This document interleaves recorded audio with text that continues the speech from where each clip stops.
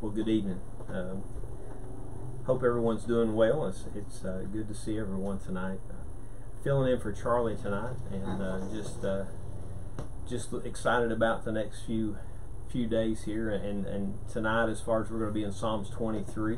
Uh, really, over the last few weeks, I've just been looking at uh, what to teach on, or really cover the next few weeks to come, and and Psalms 23 to be the beginning and and following through with the next few few weeks in Psalms also. But Psalms 23 is a uh, has a special meaning to me. I, I know that uh, my grandmother years ago, I remember this being a psalm that she had remembered and remember her reciting it. And and I know there was a time in my life I really didn't understand exactly uh, the true meaning of it. But look at it today as a follower of Christ and and uh, just uh, take joy in in the peace that I find in Christ and, and the peace also that we find in the Lord and, and, and he, Him being there and, and taking care of us and watching over us.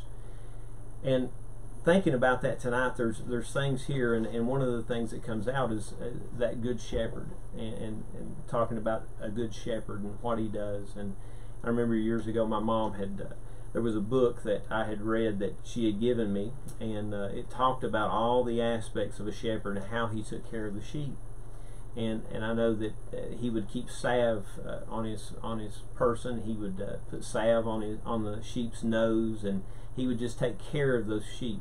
And thinking about that in the, the you know as as God of what He does for us, how He takes care of us. He, he's right there all the time. And and looking that tonight in Psalms 23.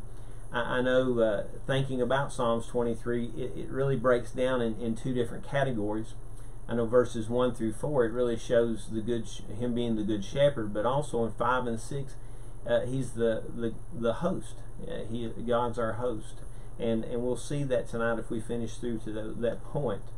But uh, let's read uh, Psalms 23 here tonight, and we'll get started here. It says, The Lord is my shepherd, I shall not want. He maketh me to lie down in green pastures. He leadeth me beside the still waters. He restoreth my soul. He leadeth me in the paths of righteousness for his name's sake. Yea, though I walk through the valley of the shadow of death, I, I will fear no evil, for thou art with me, thy rod and thy staff, they comfort me. Thou preparest a table before me in the presence of mine enemies. Thou anointest my head with oil, my cup runneth over. Surely goodness and mercy shall follow me all the days of my life, and I will dwell in the house of the Lord forever. Let us pray. Father, we, we love you. We we praise you. We, we thank you, Father, for uh, the day you've given us. Uh, I thank you, Father, for each person here tonight that is listening. And Lord, tonight as we go through your word, I, I just ask, Lord, that you open our hearts and our minds to your word. I ask, Father, that we set aside those things that just kind of hold us back. And Lord, that we just focus on and on you as the shepherd, you as our, our sustaining help. And Father, as we lay this before you, I just ask you speak to us. Father, may you set me aside. May it not be of me, but of your word and your will. Father, I love you and I do praise you in Jesus' name. Amen. As we look here tonight, thinking about this and talking about the Good Shepherd, uh, it says there in verse 1, The Lord is my shepherd. You know, Jesus is that Good Shepherd who went one step beyond what we talk about David being the shepherd. Jesus gave his life for the sheep. And as we think there, it said in John, John 10 11, it says, Jesus gave his life for, for the sheep. Um, what we're talking about there is he he came to this earth to die on a cross for our sins. He he he him being that good shepherd, he's here to protect us and watch over us, but he made the ultimate sacrifice for each of us. He died on a cross for each of us. He died for his sheep.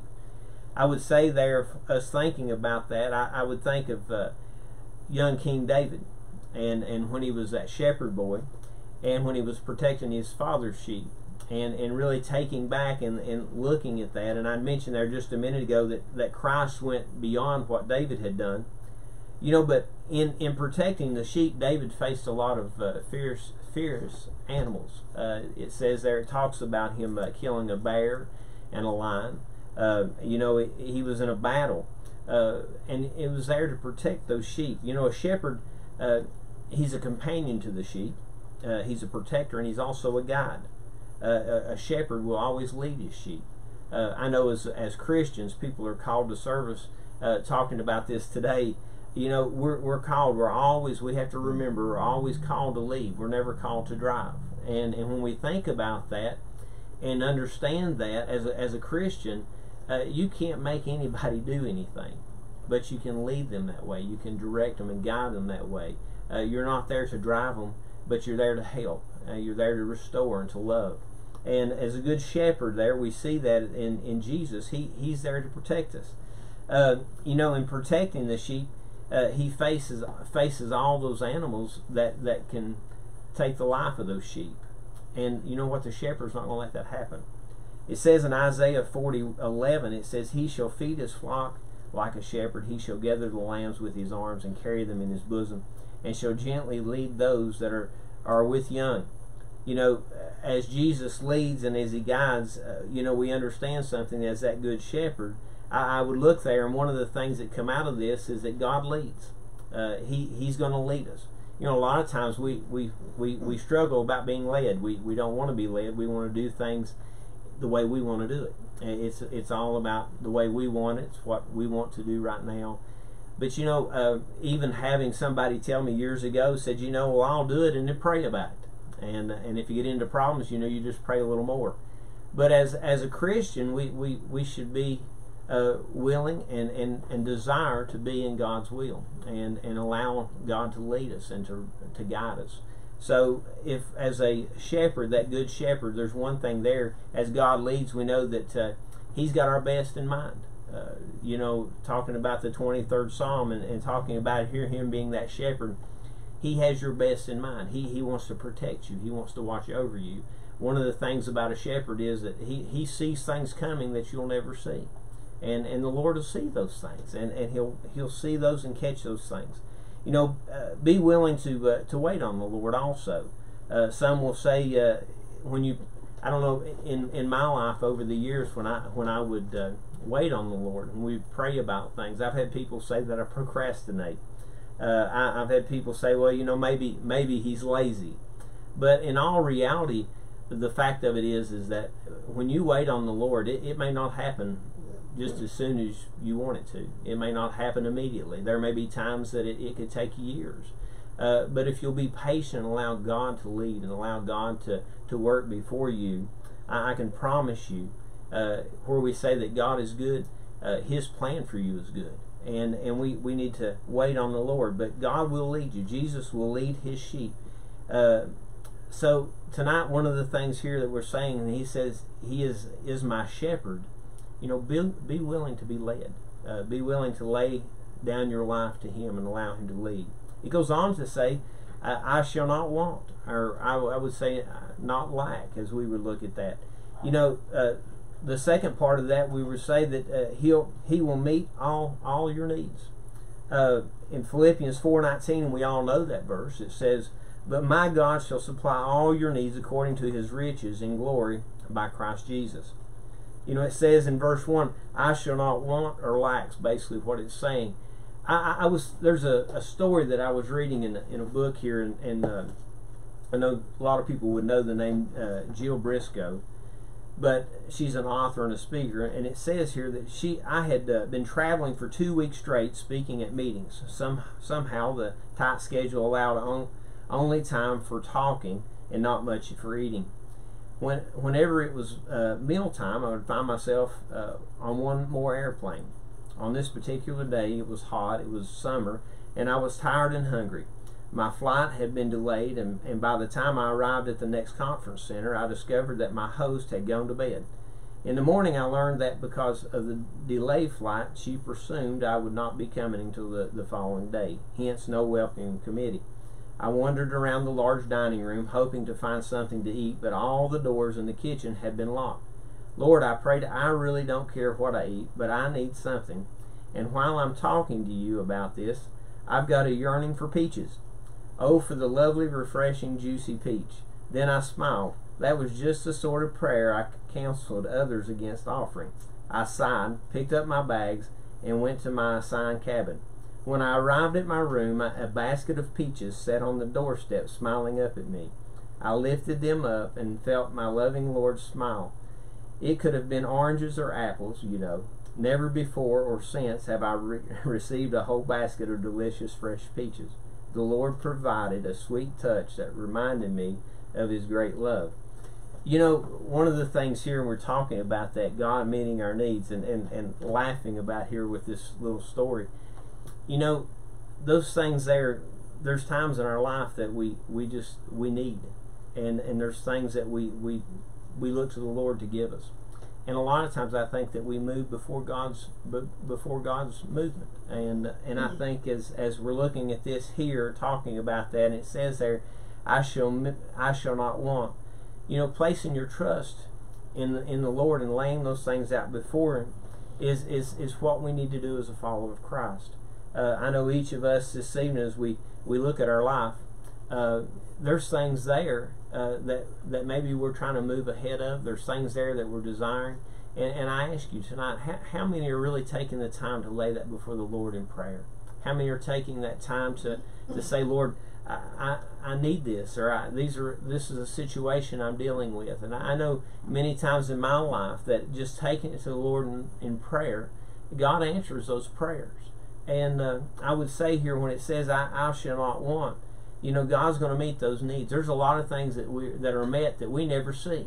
There's a lot of things there that we we, we just maybe take for granted. But you know, God is are, is meeting those needs, and and we need to be thankful of those things. Uh, God's got this, no matter your circumstance, uh, no matter what's going on in your life tonight, uh, no matter whatever you're facing, whatever tomorrow brings. I want you to understand something. God has it. God's got it He's taking care of it. Lay it before the Lord. It also goes there and in verse 2 it says, he, he maketh me to lie down in green pastures. He leadeth me beside the still waters. And, and how we look at that is still waters, waters of rest. I, I would say here that in the third part of this is uh, He is a God of rest and peace. Uh, today it's so it's so easy to get caught up in, in a life of busyness and and how hectic things are. I, I was thinking uh, as I was looking at this today, you know, we've all got work schedules. Uh, if you're home, you've got a home schedule. If you're at school, I know there's a lot of teachers tonight that uh, uh, just there's a lot going on with them and, and, and with the online studies. Uh, there's a lot of schedules. I, I think about churches. Or there's there's a lot of schedules that you'll find in a church. Everything that seems to be on a everything seems to be on a schedule. It, it seems like it needs to be done yesterday, and and that's the way the life that we face today. And it's so easy to get caught up in that. In a, in a busy life, we forget to relax or even take time uh, for ourselves or anyone else. Not to mention what what fails or what falls behind is our, our time and our relationship with the Lord. Uh, you know, in Matthew 11 28, it says, uh, Come to me, all you who are weary and burdened, and I will give you rest. And and thinking about this here tonight as we were looking at these verses, and it says, He maketh me to lie down in green pastures, He leadeth me beside the still waters. I, I would say there that He's a God of, of rest and peace. You know, how many tonight would fall into that category that you're caught up in the in the busyness, the hecticness of this life?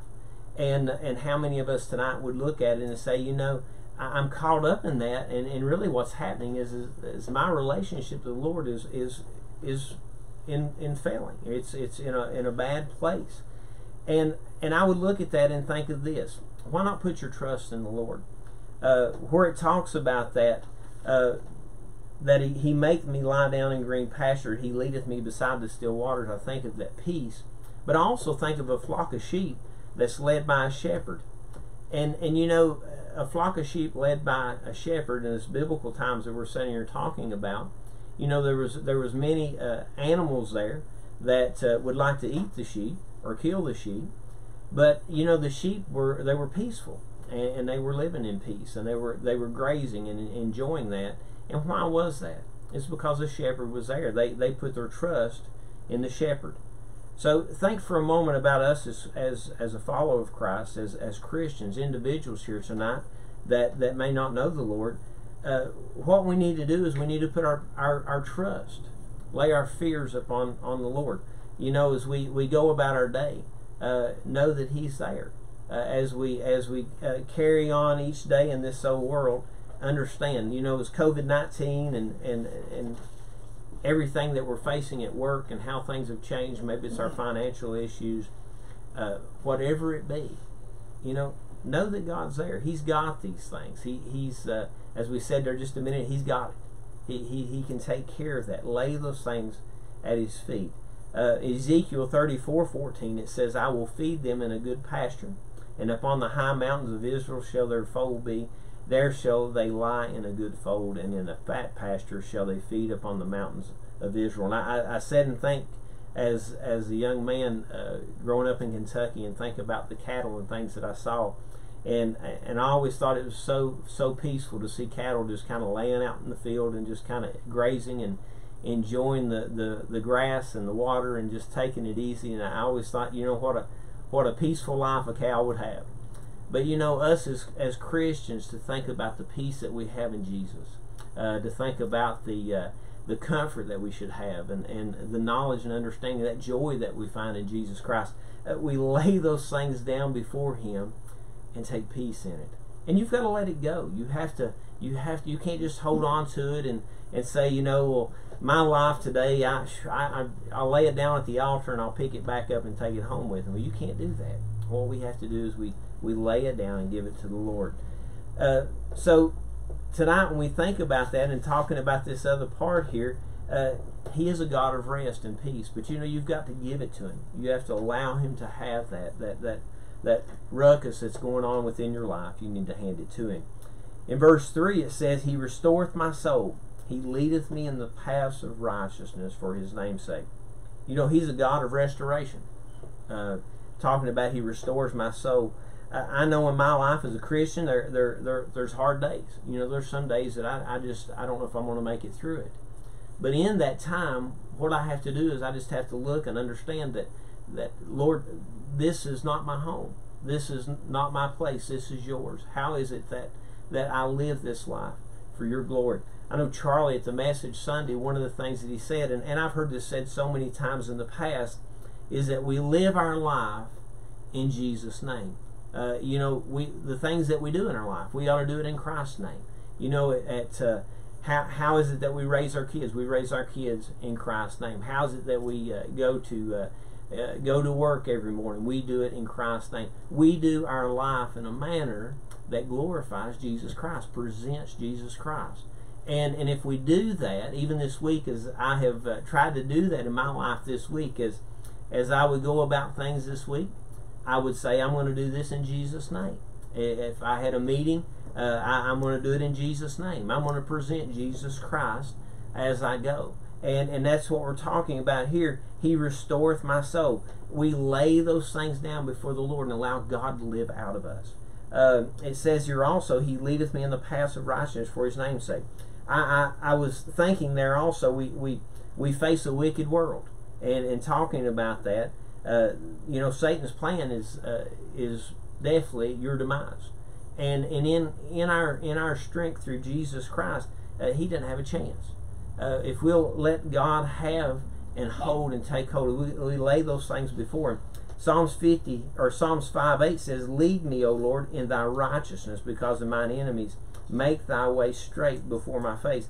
You know, as we go from day to day, and you're placing your life and your heart and your trust within Jesus, Guys, I'm going to tell you something. A lot of times, what happens is the wicked things, the things of this world, will be set aside, and you'll just press on through. And and that's where our strength comes from. We get our strength in Jesus Christ. How how is it that your strength holds up? Where what is it that you draw your strength from? Do you draw it from the things of this world? Do you draw it from your bank account? Do you draw it from uh, your family, or do you draw it from Christ? Do you do you lay those things out before the Lord and allow Jesus to be lived through you? I would say here also in that talking about He is uh, the God of restoration. He also He's that God that leads and guides and directs. But it also says there in this, in that He lead me, O Lord, in Thy righteousness. Uh, I think of each each morning when when I get up in the morning. There's not there's there's a word that comes out of this through Christ. Christ is that light within us. Uh, you know, uh, there's a J. Vernon McGee and, and something I we were talking about this morning is J. Vernon McGee. Uh, he says that when you would take a, a lamp to the barn at night, the birds would sing and the rats would run. And and what we're talking about, looking at that tonight, and, and thinking about that, the light of Jesus Christ in you, the light of Christ that shines through you, but also uh, the light that, that Christ gives you. Guys, you, you can make a difference in this world, but it also makes a difference in how you look and how you focus upon the things that you deal with day to day. Uh, you know, if we we cannot face the darkness of this world on our own abilities, it's, it's not possible. Talking about that righteousness, it, you know, God died. You know, Christ died on a cross, and He took something He didn't have when He died on the cross. He took our sin. He didn't have sin, but He He took our sin upon Himself, and and and He gave us something that we can't beg, borrow, buy, or steal, and that's righteousness. Our our life today is we stand firm in Jesus through His righteousness. You know, God looks at our faith as righteousness. And, and, and in that, that's what Christ is in our lives. He, he is that righteousness that, we, that we're looking for. So we need to understand that He restores my soul and He leadeth me in the paths of righteousness.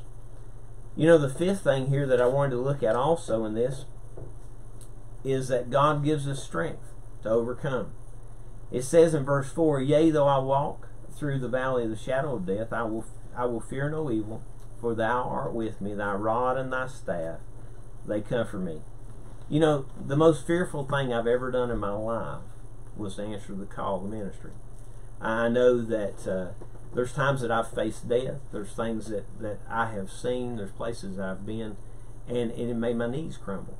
But I, I think about it tonight. The most fearful thing that ever happened in my life was uh, when I was called to ministry. And I, I look at it, I, I, hadn't been trained. Uh, I didn't think that, that I could be used. Um, I, I, thought, well, maybe I can just fill in or do this or that. But you know what? Uh, I just laid it out before the Lord and I said, Lord, here I am.